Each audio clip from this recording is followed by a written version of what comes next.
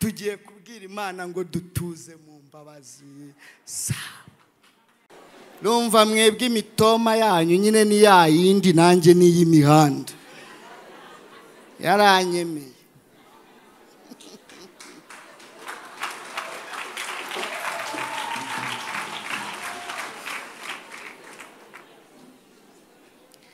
Nazaga hano narakuyeho. Warakoze kunyemera. Yego. Ariko yesu nta soni agira mwana ubundi kumpamagara mu giterane cyo gushima imana areba amezi bamaye nikoreye iki gisima nkumva ntibivamo. Musheri imana yanyihereye sanga ni akaguru karwaye ntabwo ari umunwa mwana ndavuga ati reka mbabwire kwa muganga nahize ibintu bibiri. Ijambo rya mbere hari aho abantu bagera bose bakareshya rero gupfa wenda ntabwo urumva utazapfa bitewe n'ibyo imana yakuvuzeho. Reka mbivuge gutya korera imana nk'uwo bari butere ikinya nimugoroba. Ko bagutera ikinya ukahita ukuraho barakisekuye abashumba uri kubyumva kandi nta mikino. Ganga arakigutera. Bakuriye mu mashuka ashaka kubafasha. Rega twabirangije ibindi turabyikorera. Rero haba harimo n'utuntu tw'utumikoro mbese bagashyiramo indirimbo bakubaga uri kumva indirimbo. Uwo mudogiteri ahita ababwira ngo mushyiramo iza wa musore wabo wa mubwongo ni israel mbonyi yavugaga. Nararirimbye mu mutima noneho bakuru bakubitamo fore zo bari bucomeke amahuru ukajya rero ukajya wumva utuntu turi gushirira. Nabanje kugira ngo ni insinga zahiye mwana. Shaka kubabwira ngo dusohoke birimo birashya. Nihumurije numva n'ubwotsi butugufwa twanjye we korera imana nk'uri bu. Gagare mu kanya mwana.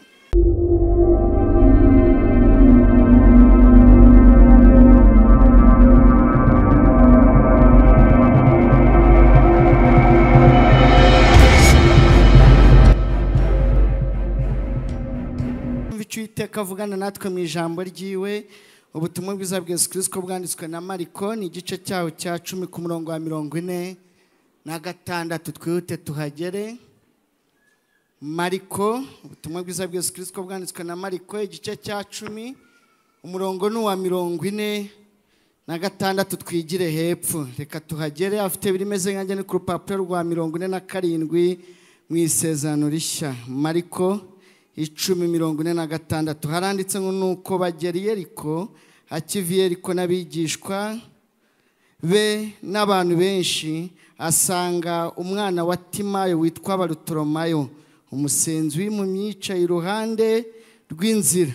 Yumvise yuko ari yesu w'i nazareti ari uje ahera ko arataka cyane ati yesu mwene dawidi mbabarira.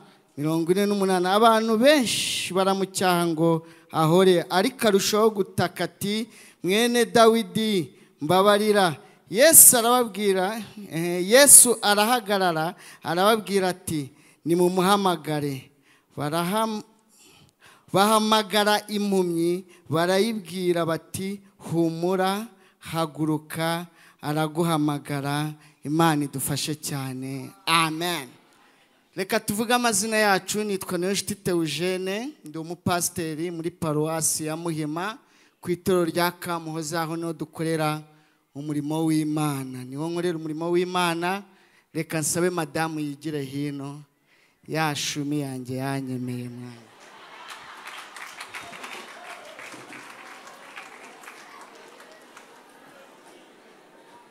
rumva mwebwe imitoma yanyu nyine ni ya yindi nanjye ni iy'imihanda yaranyemeye.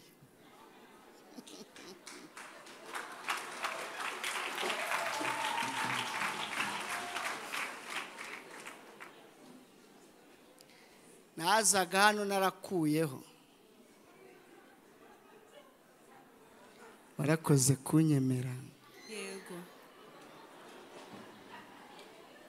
ariko yesu nta soni agira mwana ubundi kumpamagara mu giterane cyo gushima imana sorowamu imana iguha umugisha.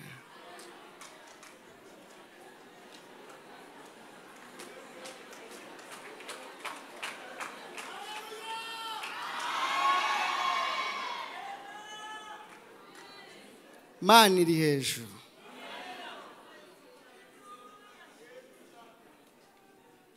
Jehova ire namwe murabizi tu.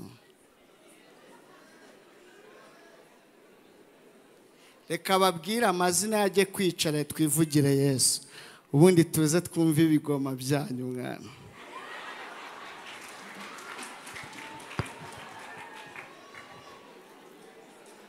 Haleluya yesu ashimwe.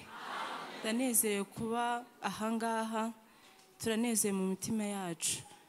Amazina nitwa uwanyana asiya ongeraho ngo mama pasiteri mama pasiteri erega ari yesu wabiremye mwana. Niwe sheri.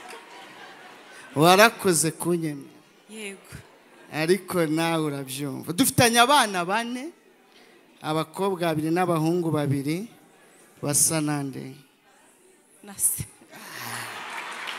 Genda ube wicaye hariya twivugira imana. Hareruye ndishimye cyane. Hari hashize amezi abiri ntagera mu nzu y'imana kubw'uburwayi mubona mfite. Ni agisida nakoze. Eh, hari hashize umwaka n'amezi atandatu. Ndivuza maze kwivuza. Ariko baza gusanga hari amagufwa akoranaho. Atarakize kandi ari kuvungukira mu mubiri. Najya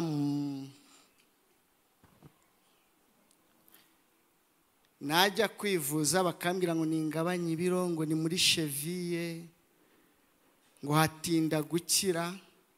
Ariko ndashimira umudogiteri umwe wa fayisari wanyihamagariye ubwe ku giti cye kubera izi videwo z'ivugabutumwa yambonaga buri gihe ncumbagira. Abenshi bumvaga ko ari kwa kundi nigisha iyo ndi gushaka abacoma mbese bisaba ko ngenda nkabo nkavuga nkabo. Noneho ariko burya nabaga ndi gushiriramo arampamaganga ariko pasite ko mpora mbona ucumbagira ni ya mvune ya kera? Ndamubwira ngo yego. Ujya kwa muganga bakakubwira ngo iki ngo ni cheviye ningabanye ibiro. Arambwira ngo hoya nta cheviye imara umwaka itarakira ndi dogiteri fayisari mvura iby'amagufwa reka ndeke kumuvuga izina uzaze nkurebere. Ngezeyo ancisha mu cyuma asanga amagufwa yanjye yatangiye kuvungagurira. Buriya nahoraga nambaye inkweto zifunguye nkambara inkweto zifunze ngiye kwinjira mu rusengero kubwiriza arambwira ngo ngomba kugufasha byihuse nkakubaga nkakuvura nkagufungiramo utwuma arabinyereka kugira ngo hatazavamo kanseri. Kuko uko bankoreraga kine aho kine biriya bakandagura niko narushagaho kwangirika inyama zari zarangiritse. Ntangira urugendo rwo kwivuza kuva mu kwa mbere mu kwa kabiri ni bwo bambaze hashize ibyumweru bitatu imana imuha umugisha uwo mudogiteri. Ubu nikoreye isima. Mwari muri hano w'iwacu i butare. Akaba na porofeseri wanjye mu ishuri rya teoloji yaranyigishije imyaka myinshi. Mwarimu nkamubwira ati ndarwaye. Nkamwohereza amafoto ati nta kibazo uzaba wakize. Nareba amezi bamaye nikoreye iki gisima nkumva ntibivamo. Perezida na mugenzi we baza kundeba mu rugo barambwira ngo wowe uzahagere gusa. Ariko nanjye nganira n'uriya musheri imana yanyihereye sanga ni akaguru karwaye ntabwo ari umunwa mwana. Ndavuga ati ndajyayo tu.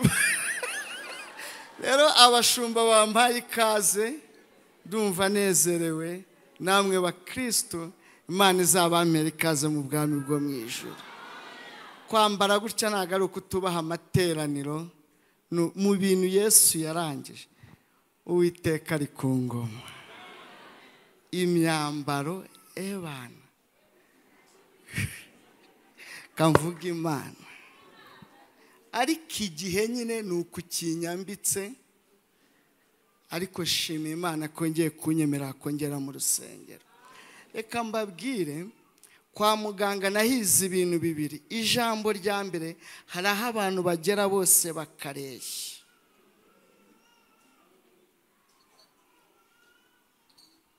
Bakareshya koreka nkagere ijambo rya kabiri korera imana nk'uzapfa ejo. Kuko namaze kumenya ko imirimo yose iheshwa agaciro n'umurimo wanyu gupfa wenda ntabwo urumva utazapfa bitewe n'ibyo imana yakuvuzeho. Reka mbivuge gutya. Korera imana nk'uwaba ari butere ikinya nimugoroba. Ko bagutera ikinya ukahita ukuraho barakisekuye bashumba uri kubyumva kandi nta mikino ganga arakigutera bakuriye mu mashuka ashaka kubafasha. Garega twabirangije ibindi turabyikorera. Rero haba harimo n'utuntu tw'utumikoro mbese bagashyiramo indirimbo bakubaga uri kumva indirimbo. Ntabwo nzi kuririmba rero byaranyihishe ngira ngo murabizi mwarepetaga ndi gucoma ijwi ryaragiye. Ntabwo mwandenganya rero. Uwo mudogiteri ahita ababwira ngo mushyiramo iza wa musore wabo wa mubwongo ni israel mbonyi yavugaga. Nararirimbye mu mutima noneho bakuru bakubitamo fore zo bari bucomeka amahuru ukajya rero ukajya wumva utuntu turi gushirira. Nabanje kugira ngo ni insinga zahiye mwana. Shaka kubabwira ngo dusohoke birimo birashya. Nihumurije numva n'ubwotsi butugufwa twanjye korera imana nk'uri bu gagare mu kanya mwana. Kandi nagiye kwa muganga nitwaye. Mana yamaye n'ikimodokari giparitse hano.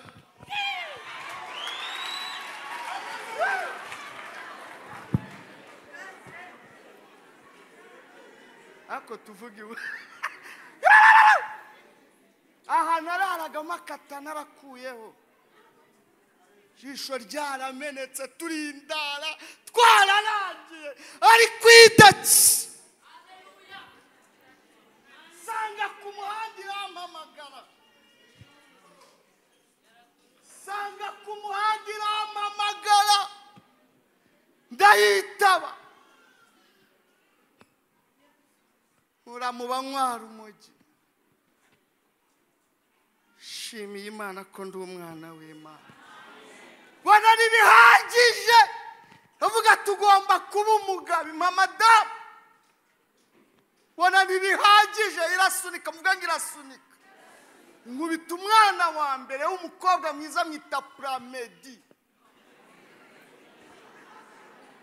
bona ntibihagije kubita irindi zina mba umudiyako kutabivuga. Ibona ntibihagije inkubita umwana wa kabiri mwita ansa. Bivuga ngo igisubizo.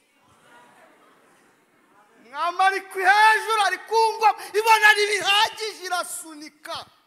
Bukeye mba mwari. Dukomereye amashyi ibona ntibihagije ibona ntibihagije nkubita umwana wa gatatu mwita hiro. Ibona ntibihagije. Inkubita perime mba umushoferi. Kanze mvuge yesu. Ariko hararuya ibona ntibihagije. Avuga ati reka nze nkunezeze mwana wanjye. Warababaye urankorera. Shumba ngaba twabanye. Kugira ngo bantagire ubuhamya nitangira ubuhamya. Dore ngo uyu mukozi w'imana twakatanye umujyi komeza ubabare nyine ariko nawe igihe cyawe kizagera nakwitangira ubuhamya. Igihe abandi besikorokaga nicaye na madamu. Ndamwe ngo reka twere imbuto tuzapfe turi abakene. Ntituzabeshere imana. Ninadutabara tuzakomeze tuyubahishe. Igihe cy'ivugabutumwa cyanjye. Bibiri na cumi uyu mujyi ndawukata. Dushonje. Buriya mwavuze inzara. Hari ikimama cyaribye hano. Ngo dushonje! Duhaze inzara weho ntabwo uyizi mwana inzara irakwica wanareba bakagira ngo uri kurunguruka. Reba turiya muntu ari guhengereza iki? Ntacyo uhengereza. Ari amaso ya ndetse. Kubahisha imana njye na madamu. Ndamushimira ko atantaye mu nzara. Ntago yanjabutse mwana ngo anyobe turacyari sheri imana iguha umugisha. Njye turagendana nta pfunwe ngira.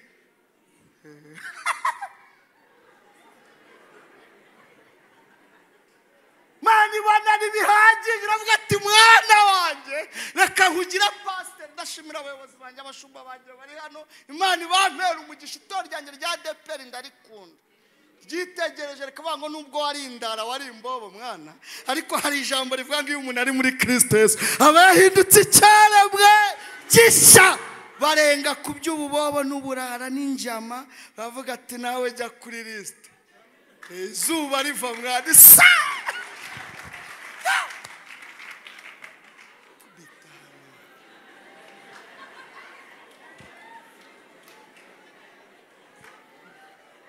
Wabigira ute se? Ushoye urubanza ngo iriya ndara yabaye pasiteri ite se? Witonde itakuniga none si usuzugura. Ko mvuze ko nari imbobo ngaho icara hariya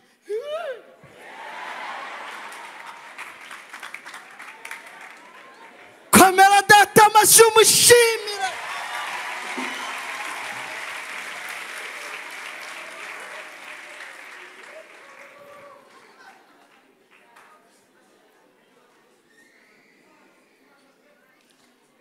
Kanivugira ijambo ry'imana. Mana ni urukundo. Nzara yaratwishe turababara. Turasonza. Uzi gusonza uri pasiteri? Uzi gutega igare uri pasiteri? Karuvati ugiye kuyobora ku cyicaro kuri paruwasi. Muri uyu mujyi wahita umbaza ngo itorero ntiryaguhembwaga twanahembwaga neza. Ariko namaze kuba pasiteri nganira na sheri wanjye. Ndamubwira ngo dufate avase siri soreri tugure natwe ikibanza nk'abandi muri uyu mujyi barayakuba. Iyo udafite ingwate. Badukubita imyaka myinshi turakigura. Bagiye guca imihanda ni cyo bahereyemo. Bacamo hagati shu muvuge ngo shu! Nta cyaha bakoze. Ni ibikorwa rusange kuko si njye njyenyine wakuyeho tumara imyaka. Adeperi memba banki igakurayo ayabo hagasigara mirongo itandatu na bitanu. Ngo fata mirongo itandatu na bitanu muri uyu mujyi. Wishyuramo inzu ya senkani harasigara cumi na bitanu. Ubihahishe ubitegemo ujye kuyobora ku cyicaro kuri paruwasi. Ubu imibare itezamo ibihekana ako kanya urabara ntibivemo niyo mpamvu gusangiye muri iki giterane iki cya korari sorowamu bivuga ngo imana iri hejuru igukuriremo n'imibare imibare imibare imibare ikuramo ibihekane ababyumvisha imana ibaha umugisha imibare ivemo iki ibihekane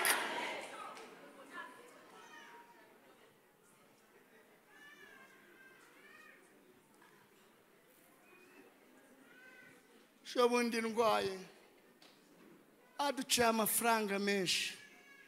Ariko mituweli iradufasha twishyura amafaranga. Iyo umuntu ari kuvuga ibihumbi magana kubera utwuma bantije tu ngo kandi bazadukuramo. Nzi ko natuguze none ngo bazanadukuramo ntabwo natujyana. Turimo indani. Baragutiza mwana. Madamu avuye kwishyura ibyo bihumbi magana yaje ari kurira. Ndamubaza ngo ni ukubera iki? Arambwira ngo iyo twabyaraga twaburaga bitatu magana atanu dufite mituweli. None sheri mvuye kwishyura. Kandi ndababajije ngo nishyure kuri mobayiro mani cyangwa nishyure kashi mani shi ko nabonye uburyo nivuza ntahamagaye ntabwo mwabyumva. Irindi shimwe rya kabiri nkoraga isida bwa mbere. Saa munani z'ijoro nyir'inzu abizi neza ko amanitse akaguru muri salo saa munani z'ijoro. Yanyohereje meshaje ivuga ngo uribuka ko itariki y'inzu yarenze? Ni inshingano zanjye kubikwibutsa. Pasite kandi aryongeraho.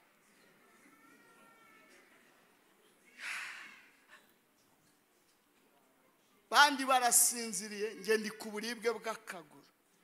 Kambaye igisima. Manda itaba uri kubigenza muri ako kanya mpita mbona akamesaje ubundi hari utumesaje ubona amazeru ukajya uyasubiramo kandi ari ku manywa. None hari nijoro. Ako kanya minota mirongo itatu mbona amafaranga ku buryo namwishyuye ibihumbi ijana hasigaraho n'ibindi kuri telefone.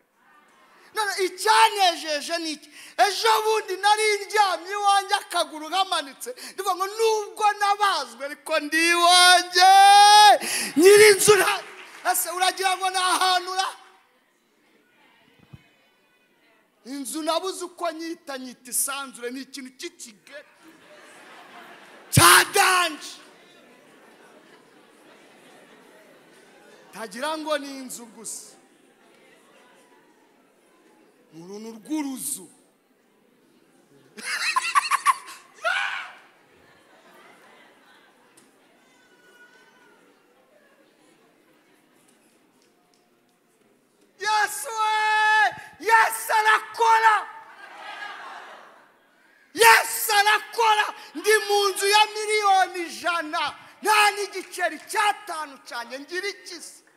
ko nakuyeho n'umusekirite undinda ntabwo wakwinjira iwanjye cyenyenge si nde ararinda yabongo iyo yesu yabyemeye wabigira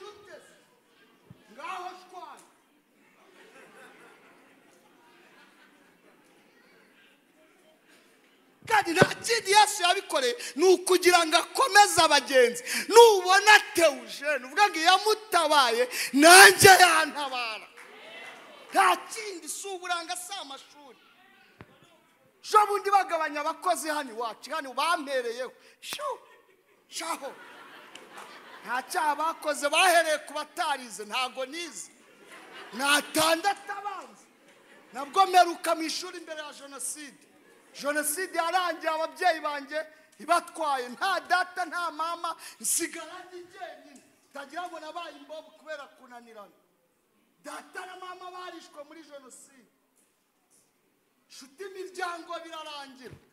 Kandi utajya navukiye mu buzima bwiza mani namenye ubwenge asanga iwacu hari abakozi. Bangaburira bandirimbira ngo mama we hari ikijumba uhirimana na cyo dore uko undeba najyaga ku ishuri imodoka ari nkamwaruka n'imodoka. Nize kuri apape. Abantu bari muri uyu mujyi imbere ya jenoside. Ibigo bitanu byigagamo abana b'abakire. Ekore berije ekore faransese aperi ugunga apaperi na kankigali. Ndabeshya se. Ubuzima ni ubuzima. Ariko umubwiriza yaranditse aravuga iby'isi byose ni ubusa. Niwakwiruka inyuma byose birarangira birashyira nisanga ni jyenyine. Umuhanda wa mwana wa numva rero ari kunyomora iwabo wavuze ibikomere. Basi umhindura ibyo nahawe agiye kubwiriza. Mvuga ku bibundi bikomere byose ntibikira. Hari ibikira n'ibidakira. Ariko ku bamenye imana ibyo bidakira umwuka wera araza akakwigisha uko ubana igikomere cya jenoside ntigikira. Ubu mbyaye kane ntawe urampembe n'abampembye si data. Kandi umukristo wanjye wahembwe arantumira pasite uzane na madamu baranzanira fanta baraza kumemba.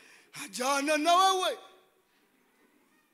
mwana wa umubyeyi wabyaye bakamuhekesha umwana bakamutegesha urugori cyangwa igitambaro bakamucanira buji. Ibyo bari kumukorera umugore wanjye yatwise amezi icyenda abyaye kane ntawe urabimukorera urumva kijya hese ejo bundi nicaye muri salo njya n'umukobwa wanjye w'imfura. Ahita ndeba ahita mwanga ariko dadi nditaba.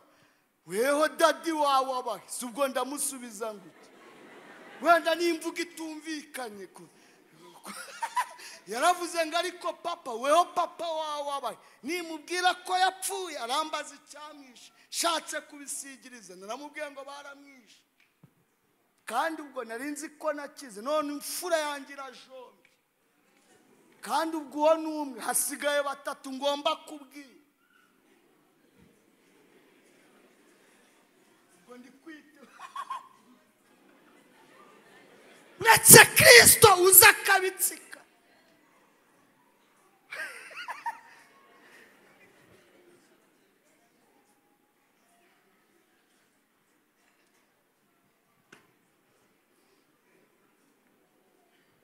Gabanyije abakozi ndigendera tu. Imana ikoraga numva umuntu arampamagaye ndamwitaba maze kumwitaba arambaza ngo ugira konte muri beka. Ndikiriza ngo yinyoherereze. Ndayimuha. Ubundi se hari icyari kironga aratunga aranyiba cyangwa aranyesikoroka mpita nyimuha. Maze kuyimuha mu minota nka cumi n'itanu mpita mbona mesaje ya miliyoni zirindwi. Hari akamesaje gatakara muri telefoni kubyumva neza. Ndi kubara amazeru numva arampamagaye arambwira ngo dusange mu mujyi. Mbasanga mu mujyi baranyicaza. Bari abagabo babiri bari kumwe n'umukobwa n'umudamu ukiri muto w'umujene mari barambwira ngo pasite turagukunda. Igihe twari tunaniwe twashubijwemo imbaraga igihe twari ducitse intege twarakomeye. Igihe ibikomere byari byaratumaze buriya buhamya utanga ku mayutubi. Twamenye ko hari ibikira n'ibidakira umwuka wera aza akabitsikamira. Watwigishije kubabara dutanga imbabazi tu- tubabarira abatwice ubu turi abagenzi bajya mu ijuru. Imitima yacu yarabohotse. None twamenye ko akazi kahagaze amafaranga ubonye si ayo kugura inzu turabizi uracyakodesha. Si n'ayo kugura ikibanza turabizi. Genda ugura imodoka turabizi ufite perime utunga abana bacu batazicwa n'inzara. Iyo byemeye abana babona umuryango. Abo bacaho abandi barubaka. Bangurira ikibanza. Munakamwe ngo pasite wambari ukaza nkagwasi muramubabarira cyangwa uhita ujyayo wari bwabonaho umuntu aho undi sima atari imifuka. Mu matoni gahita hamagara dayihatsu hari aho ziri gushaka ibiraka. Ngo upakira toni zingenge enye n'igice. Ngo genda mu gikari kuri depo bapaye sima mu matoni zirazamura barayisakara. Ifite tuwarete mu majyepfo mu majyaruguru n'iburasira iyo uri mu gice cyo hepfo ukabaza ubwiherero turakubwira ngo gumayo. Waba uri ruguru tukakubwira ati bugumya. Aho naho irahari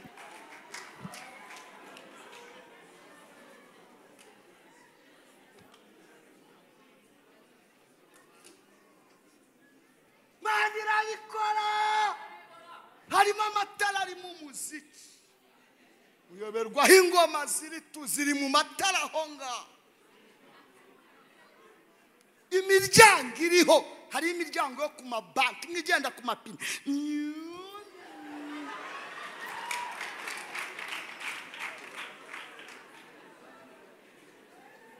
amarange ka nta n'atanu umuntu ngo ku marange ni ngewe wari uzi ko muri salo hatabamo irange rimwe mwana?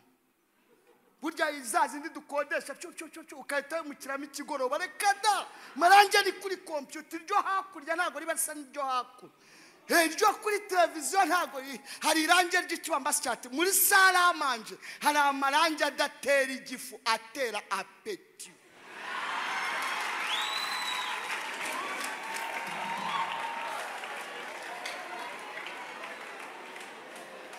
mana irabikora. Mani irabikora na madamu afite imodokari agendamo n'umushoferi we memba ku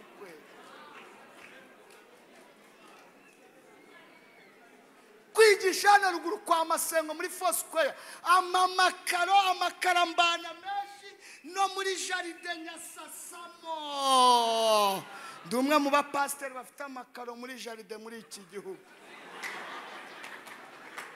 Uriya mudamu wo mu mujyi hari aho bita kuri lagaride hari ni we washyiriyemo Yamwe- yapfubye yanda ejo bundi kumva numva telefone irampamagaye ndayitaba nyakubahwa mushumba ndagushimiye umbwira inkuru nziza. Urumva tunge mba ndi ku gahigo nguruka. Yarampamagaye ndamubwira ati ewana uretse gato ndangizanye naba. Naho ni umushumba. pe ahita ambwira ngo nanjye ni umushumba w'ururembo uze kunyitaba ndavuga ati karabaye noneho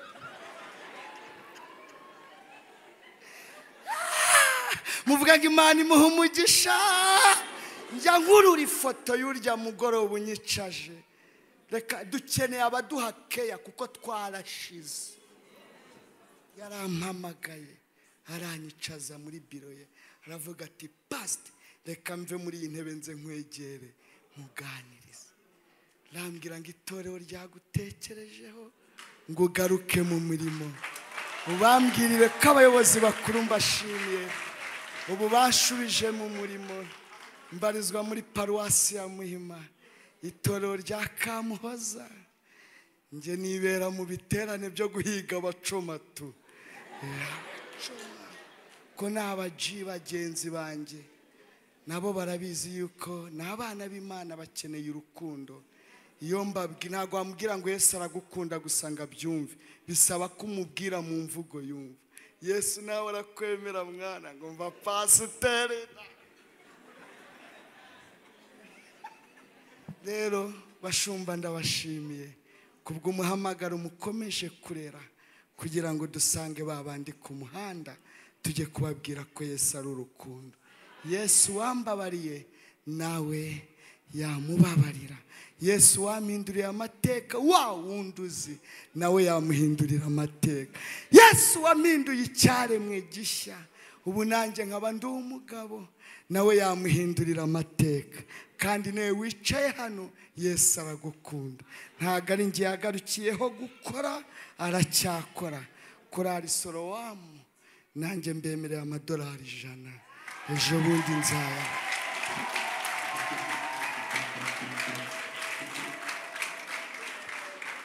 abanyamakuru mwe muramuka mukoze titire ngo pasiteri atanze amadolari turahita dushwanya.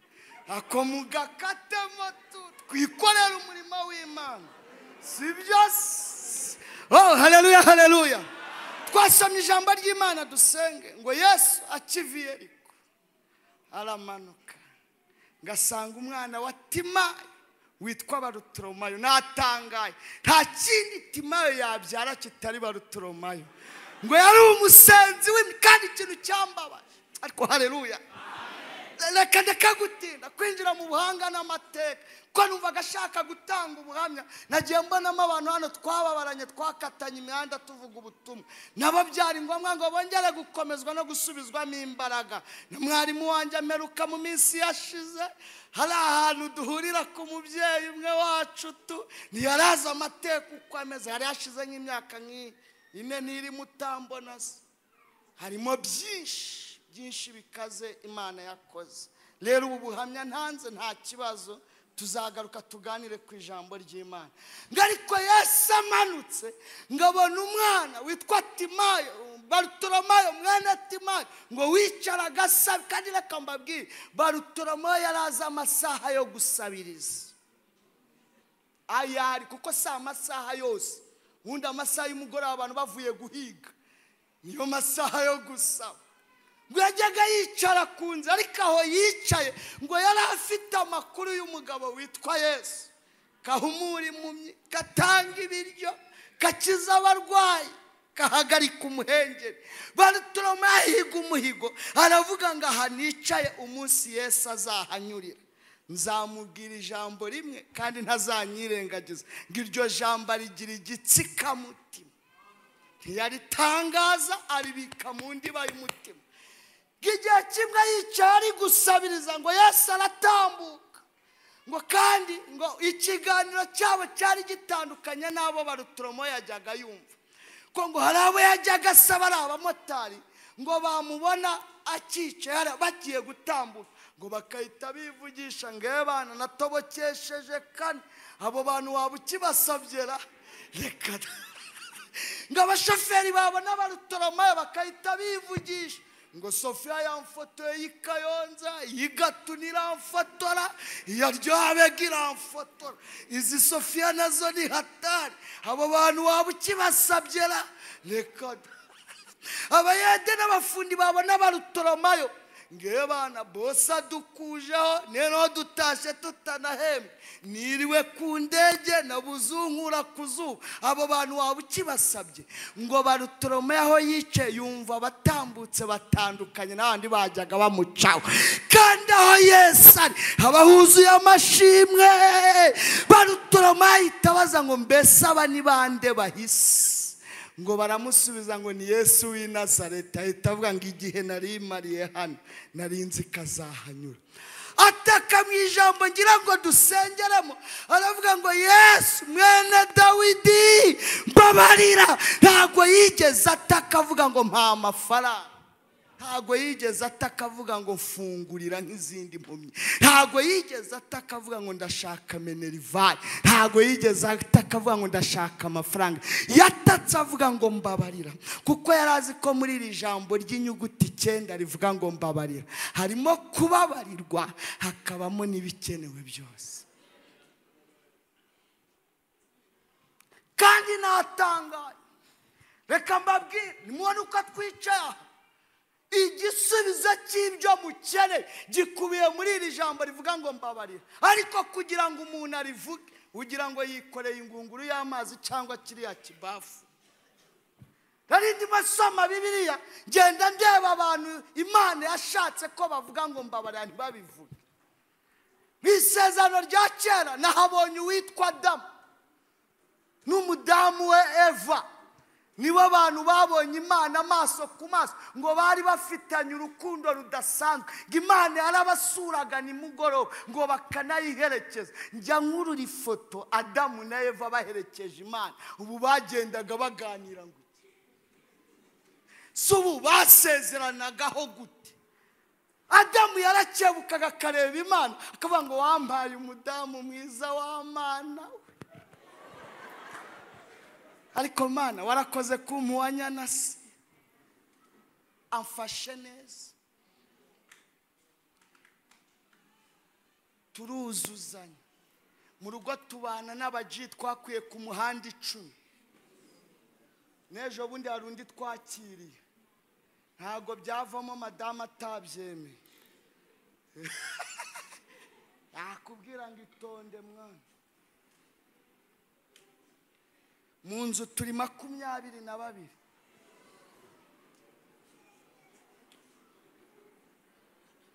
Hariya twimukiye abaturage baherutse kuvuga ngo pasite ngo ujye uduha ibiryo by'ingurube biba byasigaye. Noneho ntibazi ko twe twunyuguza ku meza tuhava twogeje. Agafuka k'umuceri mwari. Veniseke kiri iminsi twe ntabwo gashira kwa kundi ukabona kamanuka dabo Huu! gateretse hejuru y'umwobo bimeze ntabwo byavamo. Imana itaraguhaye umudamu ubyemera. Bariga barihira amaso. Kandi abo turihira sogonderi harimo n'abiga isumba ku kigo cyacu cya deperi harimo n'abiga nyabihu najyanye kwiga ubuganga. Naravuze ngo amashuri ntize nzaba umugisha kugira ngo abandi bige. Bige interina batwarwa n'imodoka. Iyo ntabajyanye madamu ashyiramo esanse akamwicazamo akamujyana. Twomora abandi bikomere. Imana ninkubita ikimodoka ngo usakuze? Ninkubita ikizu usakuze? Ko ufite igipangu ucumbikiye bangahe?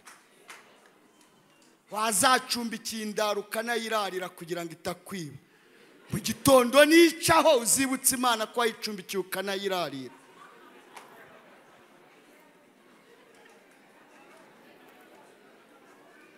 Gadamu yarakebukaga akabwira imana ngo mana ndagushimye ko wampaye umudamu mwiza. Eva nawe agasubiza baracumura ndeke gutinda baracumura. Reka mbabwire bamaze gucumura ntabwo imana yatakaje urukundo rwo kubakunda. Yagarutse kubareba. Komantere yaravuze ngo iza kubareba amaboko yayo ukuboko kw'iburyo kwari kurimo imbabazi. Ukuboko kw'ibumoso harimo ibikapu bitatu. Iraza irahagarara iravuga ngo adamu we muri hehe? Reka mbabazi imana yari iyobewe aho adamu ari. Yari ihazi yari irimo yatira umutima wa adamu ikomeza kuwuganiriza ngo irebe ko yaca bugufi akavuga ijambo ry'inyuguti icyenda ngo mbabarire. Adamu we muri hehe. Ngo reka turihishe kubera iki mwihishe? Imana yari iyobewe impamvu bihishe. Ariko yari ikiri gukomeza gucokoza umutima wa adamu. Ndeke gutinda. Nkaho yavuze ngo mbabarira. Aravuga ngo umugore wampaye. Nkaho yavuze ngo mbabarira icyaha kigereka ku mana. Umudamu nawe ni uko nguko ati inzoka waremye.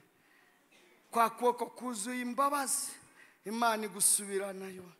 Ihereza umugabo igikapu cye n'umudamu igikapu cye. Abagabo muri hano? Abagabo hareruye mwabumvishe muri baze. Iriya mihangayiko duhura na yo tu. Dutarasa duhiga badukuzaho dutega indege dukorera abakire bakatwambura abandi bakatwishyura kubyuka tuguruka. Buriya nta kindi tuzira. Ni garafurere adamu wanze kuvuga ngo mbabarira. Ni icyo ngicyo nta kindi tu. Muvuge ngo ni danje. Shyamba ry'inyuguti icyenda.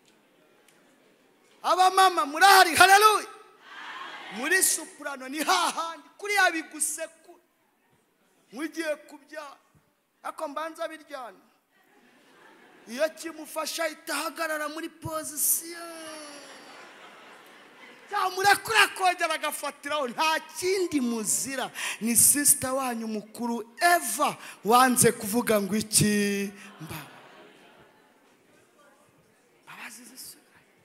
Bakajya kuvuga ibya kayini amaze kwica muri we. Imana yaraje iramubaza ngo muri wawe arihe imana yari iyobaho muri umuna we yari ihaze.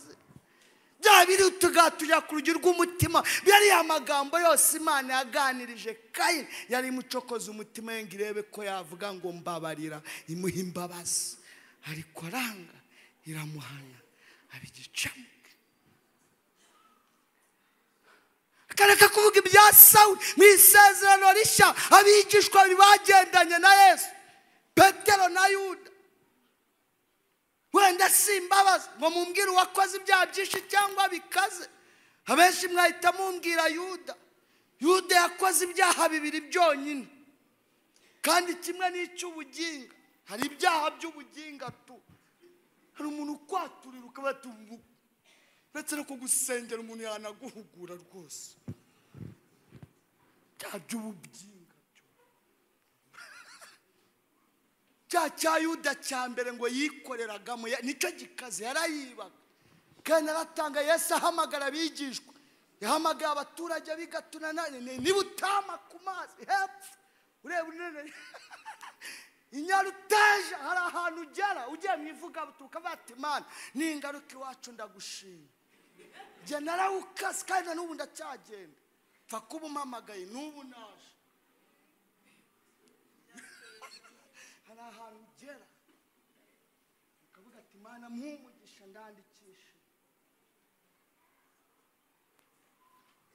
rero yesu ari guhamagara abigishwa ariko tuzarya na capati reka ndebe yuda utawuni mwana. Nawe amucomama amuhereza n'ishakoshi. Burya ngo akazi ka yuda kwari uguhaha kijyanye n'ifaranga. Karitsiye yari azizi. Akajya pyeta rero. Pyeta rero abantu bazi gupyeta. Mutumye nibuka umudamu wasutse amavuta ku birenge bya yesu ngo abihanaguze umusatsi we ngo yuda ahita ajya mu mibare.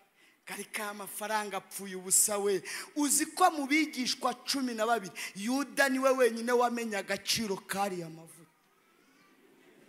Umwana wo kwitara yerusalemu mu murwa hagati nta wundi wamenye agaciro kariya mavuta uretse yuda wenyine. Ngo kuko yesu adahishwa mu mutima ahita avuga ngo abakene muzahorana iteka ariko iby'uyu mudamu akoze bizahora byi. Uzi ikintu uriya mudamu yari akoze? Yesu yari abizi neza ko azapfa isabato yikubisemo. Kamanurwa ku musaraba agashyingurwa kuko igihe cyamaze kubasiga isabato yageze. Kandi mu mategeko ya- y'abayuda isezerano rya kera umurambo waruhagirwaga ugasigwa amavuta mbere yo gushyingurwa. Kuko batanguranwaga n'isabato yesu ya mavuta azasigwa kirya gihe yayasizwe uwo munsi. N'uwo munsi na n'uyu munsi uriya mudamu aracyavuga cyaha cya kabiri cya yuda cya kabiri cya yuda kugambanira yesu. Kandi amugambanira mureke mbasetse yari azi ko yesu abajabuka. Si bwo bwa mbere abacitse n'ubu arabacika. Tunabibonye reka sora n'ubu arabacika. N'ubu aragira gute? Ariko igihe cyari cyageze. Ntiyigeze yihana ngo yimanika mu giti yikubita hasi arasandara petero wakoze ibyaha birindwi. Uruhererekane rw'ibyaha. Ngo waca bugufi saa kimaze kubika aravuga ngo mwami wanjye mbabarira. Arababarirwa. Ijambo ry'inyuguti zingahe ike cyifuzo tugiye gusengeramo. Ni icy'imana yabwiye dawidi? Ngo dawidi yakoraga ibyaha ariko agaca bugufi akabwira imana ngo mbabarira kugera aho binezeza imana birayireka imana ibwira dawidi ngo yewe dawidi we nzagutuza mu mbabazi zanjye ntabwo zizigera zikomoroka. Yemwe salamu mumaze imyaka makumyabiri n'itanu mukorera imana ndabasengeye imana ibatuze mu mbabazi zanyu jehova yiremwe wa kirisito mwe bene data dukorana umurimo w'imana. Tugiye kubwira imana ngo dutuze mu mbabazi. Zawe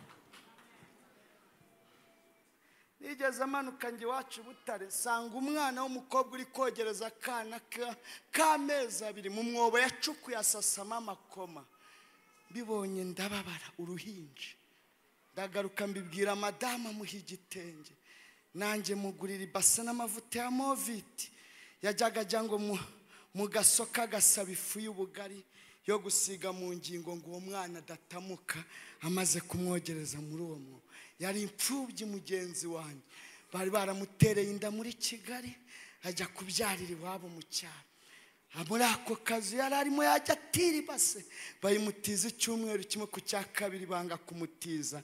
Niko kwiga ubwenge acukura umwobo asasamo amakoma akajya amwogerezaho. Mbibonye ndababara. Yaje kunsuza muri iyo famiye mba nagiye gusura. Musaba umwana ngo muterure. Arabyanga ntiyamumpa turagana ariko mbona ko atari ubugome mbona ko amuhetse ntacyo yambaye. Munsi namushyiraga iyo base n'utwo twenda tw'abana n'ayo mavuta n'uwo muti w'isabune. Naramuhamagaye iwacu ni ku kinteko tuviramo muri rwabuye. Twambuka kiriya gishanga cy'umuceri. Mpamagara umuturanyi namwe ngo nyohereza akanakaze duhure muhe ibase muzaniye. Yaramanutse. Abahazi iyo uri ku musozi ureba umuntu uri mu kabande mu gishanga cy'umuceri ukamenya icyo afite. Yambonye mu kabande afite ibase atera hareruya ari ku musozi. Angezeho arapfukama arasenga ndavuga ngo mana ndagushimye. Icyatumye ashima imana bamuteye inda ari umukristo. Agiye kubyara ibyo bibazo byose bimubaho. Wamaze ku mu kwezi kwa kabiri kuzuye ni bwo ngo yasenze imana. Bivuga ngo mana wambabariye. Nakojeje isoni itorero nkoze isoni weho mana ariko mbabarira kandi ikimenyetso cy'uko mbabariye ukampa ibase yabonye ibase yizera imbabazi z'imana. Iyo ababariye uwo mwana w'umukobwa nawe yakubabarira. Mu nyemerere tubwire imana ngo dutuze mu mbabazi zawe. Turayibwira twicaye cyangwa duhagurutse. Imana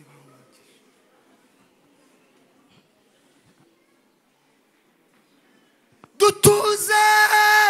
Mu mbabazi zawe iyi mpumyi itaka ibwira yesu ngo mbabarira abo yesu yatumye ngo bamugeze imbere. Ba bandi bari bamucecekesheje baramubwira ijambo rya mbere humura. We wageze hano muri uru rusengero nubwo wakoze ibyaha byinshi ariko umwuka wera arakubwiye ngo humura. Jambo rya kabiri jambo rya kabiri. Ngo baramubwira ngo araguhamagaye. Yesu ari kuguhamagara. Iyo ababariye uriya mwana w'umukobwa nawe irashaka kukubabarira kandi akamubwira ntabwo yamubabariye gusa ubu yagarutse i kigali. Imuha umusheri. Bakora ubukwe. Iranamwubakira mu mujyi wa kigali. Hari andi mahirwe ya kabiri. Duse nk'abahumiriza ntacyo bitwaye. Ni umuco mwiza wacu w'abapantekoti tuvuge ngo mana ntuza mu mbabazi zawe uri muri iri teraniro wari ukijijwe uragwa ariko iyambabariye ikankura ku rumogi. Iyambabariye ikankura ku muhanda ndi ikirara. Iyambabariye ikampindurira amateka irashaka kuguha amahirwe ya kabiri. Yo uri muri iri teraniro utarakizwa. Iyababariye uriya mukobwa. Kongera kumuha amahirwe ya kabiri. Yaraguye muri ibyo byaha nawe muri iri teraniro muri iki giterane. Cya korari sorowamu kirimo imbaraga zingana gutya z'ubushobozi. Abashumba bakaba babaye ahangaha abaririmbyi bakambara iniforamo. Nanjye nkaza n'iki gisima n'uburibwe nikoreye. Imana irashaka kuguha andi mahirwe ya kabiri. Kandi nta handi arava mu ijambo ry'inyuguti icyenda. Mbabarira utabara. Nka yuda mbabarira utaba nka adamu na eva cyangwa kayini zamurira ikiganza we wacumuye wakosheje waguye mu mutima wawe. Ikiganza imbere y'imana tukubwirire yesu ngo mu ijambo ry'inyu ntawe ukubaza ibyaha wakoze. Ikimenyetso cyo gutsindwa ukavuga ngo mbabarira uzamura ikiganza tugusengere. Nababonye nababonye. Yo nababonye. Imana ibabarira imana ibabarira reka mwebwe muzamuye ibiganza. Umuntu utarabatizwa umuntu wakijijwe akagwa twihuta igihe cyarangiye. Tera intambwe uze hano uze wongere wiyunge na yesu. Tebuka tebuka iyo ngeze ntago ninda cika uza kwa yesu uwo mukeka nushaka uwihore uwihore tebuka tebuka tebuka ndagutegereje tebuka tebuka imana iguha umugisha hagarara hano hagarara imana ntihagire uzana umuntu buri muntu yizane aha kwa yesu buri muntu nanjye narizanye nta kindi gihesha tebuka imana ibaha umugisha